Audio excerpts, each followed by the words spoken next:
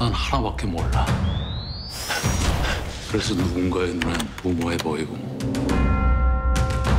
누군가의 눈엔 위험해 보이고 그냥 머리에 딱 하나만 꽂고 간다. 살린다.